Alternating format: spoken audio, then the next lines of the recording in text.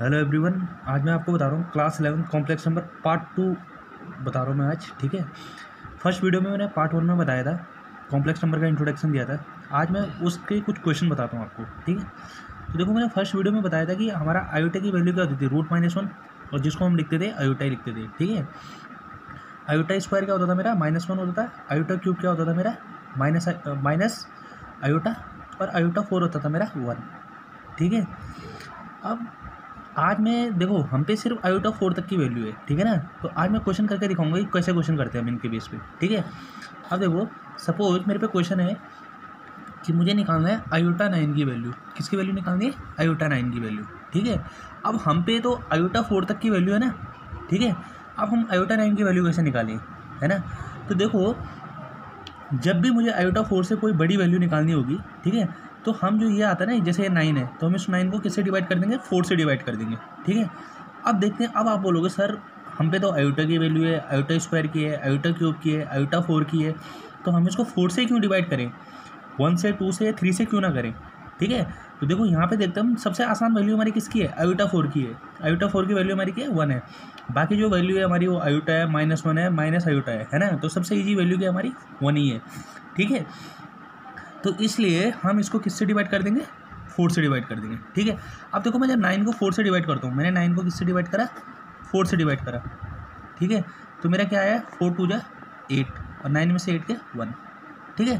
तो जो मेरा रिमाइंडर आ जाता है ना, वो हम यहाँ इसकी जगह पुट कर लेते हैं। तो हम इसकी जगह डायरेक्ट पुट कर लेंगे आयोटा वन ठीक है? जो हमारा रिमाइंडर आएगा, वो हम ऊपर पुट कर लेंगे। तो मेरे क्या है? आयोटा वन तो आयोटा वन की वैल्यू क्या होती है? आयोटा वन की वैल्यू क्या होती है? आयोटा ही होती है। ठीक है, क्या होती है? आयोटा। तो हमारा आंसर क्या आ जाएगा? आयोटा, क्योंकि हम अंडर रूट माइनस वन नहीं लिखते हैं। आगे समझ में? या आप इसको दूसरे तरीके से भी लिख सकते हो। आप इसको लिख सकते हो, iota four two four two जा एट इंटू आयोटा।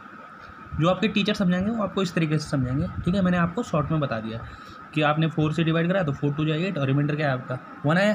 तो आयोटा फोर की वैल्यू क्या है आपकी? वन वन का स्क्वायर इंटू आयोटा की वैल्यू क्या है आपकी? आयोटा तो वन का स्क्वायर वन इंटू आयोटा तो क्या आ जाएगा आंसर आयोटा ठीक है? आगे समझ में? अब देखो, दूसरा क्वेश्चन देखते हैं हम। आयोटा फिफ्टी वन ठीक है? आयोटा फिफ्टी वन अभी आप आगे आगे करते रहोगे तो आपको समझ आ जाएगा। तो देखो आयोटा फिफ्टी वन मैंने क्या बोला है? फोर से बड़ा है तो किससे डिवाइड कर दोगे? फोर से डिवाइड कर दोगे? तो इसको फोर से डिवाइड कर देंगे फिफ्टी वन को। ठीक है? तो ये मेरे क्या आएगा? फोर वन जा फोर फाइव में से फोर गया वन यहाँ पे वन आएगा फोर टू जा एट रिमाइंडर क्या आएगा मेरा? थ्री ठीक है? तो मैंने क्या बोला था? इसकी जगह सीधा क्या पुट कर लेना है? रिमाइंडर पुट कर लेना तो मेरा आ जाएगा आयोटा थ्री और आयोटा थ्री की वैल्यू क्या होती है मेरी? यहाँ पे लिखी है मैंने माइनस आयोटा तो मेरा आंसर क्या आ जाएगा? माइनस आयोटा आगे समझ में? ठीक है? चलो एक क्वेश्चन और देखते हैं इसका। मैंने लिखा आयोटा थ्री फोर्टी टू ठीक है? आयोटा थ्री फोर्टी टू तो देखो आयोटा थ्री फोर्टी टू की वैल्यू फोर से बड़ा है तो हम इसको फोर से क्या कर देंगे? डिवाइड कर देंगे। फोर से हमने थ्री फोर्टी टू को डिवाइड कर दिया, ठीक है? तो कितना आएगा? फोर एट जा थर्टी टू, फोर में से टू गया टू टू यहाँ पे आएगा, फोर फाइव जा ट्वेंटी। तो हमारा कितना आ गया रिमाइंडर? टू। तो हम इसकी जगह क्या पुट कर लेंगे? रिमाइंडर पुट कर लेंगे। तो मेरे यहाँ पे आ जाएगा आयोटा टू। और आयोटा टू की वैल्यू क्या होती है? मैंने बताई थी यहाँ पे आयोटा टू की वैल्यू क्या होती है? आयोटा टू की वैल्यू होती है मेरी माइनस वन। तो मैं यहाँ पे लिख दूँगा सीधा क्या? Minus one. ठीक है? तो आपको समझ आया कि कैसे करा? कि जो आपका अगर फोर से बड़ा कोई वैल्यू आती है तो आपको उसको सीधा किससे कर लोगे? डिवाइड फोर से डिवाइड कर लोगे, ठीक है? और जो आपका रिमाइंडर आएगा, उसको आप पुट कर लोगे। आगे समझ में? ठीक है? अब देखो, अगर अभी तक सारी पॉजिटिव वैल्यू थी, अगर नेगेटिव में आती तो कैसे करते हैं? ठीक है? तो मैं एक क्वेश्चन बताता हूँ आपको। सपोज़ क्वेश्चन है अयोटा माइनस सिक्सटी थ्री ठीक है? क्वेश्चन क्या है हमारा? आयोटा माइनस सिक्सटी थ्री तो देखो अगर आप क्वेश्चन देखते थे ना, अगर आपको सपोज़ क्वेश्चन दे रखा है टू माइनस टू की पावर माइनस थ्री तो आप इसको क्या लिख सकते हो? टू अपॉन थ्री लिख सकते हो? माइनस का साइन नीचे डालने के लिए पॉजिटिव में, ठीक है ना? तो वैसे मैं इसको कर लूँगा, ठीक है?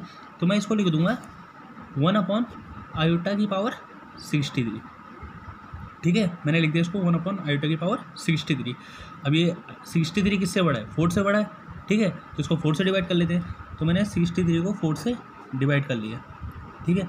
तो फोर वन गया फोर सिक्स में से फोर गया टू थ्री फोर फाइव गया ट्वेंटी तो मेरा रिमाइंडर कितना है? थ्री तो जो रिमाइंडर आया, मैं उसको इस पर पुट कर लूँगा। तो मेरा ये आ जाएगा वन अपॉन आयोटा की पावर थ्री ठीक है? अब देखो आयोटा की पावर थ्री मेरा क्या होता है? माइनस आयोटा होता है। कितना होता है? माइनस आयोटा ठीक है? और डिनोमिनेटर में हमने क्लास नाइन्थ में पढ़ा था या पहले भी पढ़ा था कि हम डिनोमिनेटर में कभी माइनस का साइन नहीं लाते हैं। ठीक है? तो इसको मुझे प्लस में बनाना है, न मैं डिनोमिनेटर में अंडर रूट रख सकता हूँ और न माइनस की वैल्यू रख सकता हूँ। अगर मुझे इसको प्लस करना है, ठीक है, प्लस की वैल्यू बनानी है तो मुझे आयोटा फोर की वैल्यू क्या होती है हमारी? वन होती है। तो मैं क्या करूँगा? इसको भी आयोटा से मल्टीप्लाई कर दूँगा और ऊपर भी आयोटा से मल्टीप्लाई करूँगा। समझ आया यहाँ पे? क्योंकि मुझे ना माइनस में लाना था, ना डिनोमिनेटर में लाना था। इसलिए मैंने आयोटा से मल्टीप्लाई यहाँ भी कर दी और ऊपर भी कर दी, ठीक है? तो ये क्या आया? ये आपका आ गया आयोटा और यहाँ से आपका आ जाएगा क्या? आयोटा फोर ठीक है? तो आयोटा की वैल्यू क्या होती है आपकी? आयोटा ही होती है और आयोटा फोर की वैल्यू क्या होती है आपकी? वन तो आपका आंसर क्या आ जाएगा? आयोटा ठीक है? यहाँ तक समझ में आया? एक क्वेश्चन और बताता हूँ मैं आपको, ठीक है? अगर सपोज़ आपका क्वेश्चन दे रखा है minus under root eighty one ठीक है? तो इसका आंसर क्या होगा? देखो, अगर आप अंडर रूट को हटाओगे तो आपको स्क्वायर करना पड़ेगा। तो ये एटी वन किसका स्क्वायर होता है आपका? नाइन का, ठीक है? अब देखो ये अंडर रूट माइनस वन है है ना? अंडर रूट माइनस वन है। और अंडर रूट माइनस वन किसकी वैल्यू होती थी आपकी? अयोटा की। अंडर रूट माइनस में जो भी होता था वो किसकी वैल्यू होती थी आपकी? अयोटा की। तो ये आपका आंसर आ जाएगा नाइन अयोटा यहाँ तक कोई दिक्कत? ठीक है? एक क्वेश्चन मैं आपको और बताता हूँ करके। देखो। अगर क्वेश्चन है आपका iota twenty nine plus one upon iota twenty nine ठीक है? तो देखो इसको कैसे करते हैं? सबसे पहले तो ये अयोटा ट्वेंटी नाइन फोर से बड़ा है। तो इसको फोर से डिवाइड कर देंगे, ठीक है? तो हमारा रिमाइंडर क्या आ जाएगा? अब तो आपको पता चली गया रिमाइंडर क्या आ जाएगा? हमारा वन आ जाएगा तो ये हमारा हो जाएगा अयोटा वन हो जाएगा? या अयोटा लिख सकते हो आप इसको। प्लस वन अपॉन यहाँ पे भी आपका क्या आ जाएगा? अयोटा वन या आपको अयोटा लिख सकते हो इसको, ठीक है? अब देखो, ये फ्रैक्शन की फॉर्म में बन गया ना तो ये डिवाइड में तो इधर जाएगा क्या होगा? मल्टीप्लाई होगा तो ये क्या हो जाएगा हमारा? Iota square plus one upon iota हो जाएगा आपका ये, ठीक है? अब देखो अयोटा स्क्वायर आपका क्या होता था? माइनस वन माइनस वन अभी आपका हो जाएगा प्लस वन अपॉन आयोटा तो माइनस प्लस क्या होगा? ज़ीरो अपॉन आयोटा ठीक है? अब आयोटा की वैल्यू आपकी क्या होती है? आयोटा की वैल्यू आपकी क्या होती थी? ठीक है? देखो आयोटा की वैल्यू आपकी होती थी आयोटा ही वैल्यू होती है। आयोटा की वैल्यू आपकी कितनी होती है? अयोटा ही होती है। ठीक है? तो ज़ीरो अपॉन आयोटा, आपका आंसर क्या आ जाएगा? ज़ीरो। आगे समझ में? तो आज के लिए इतना काफ़ी है। धन्यवाद।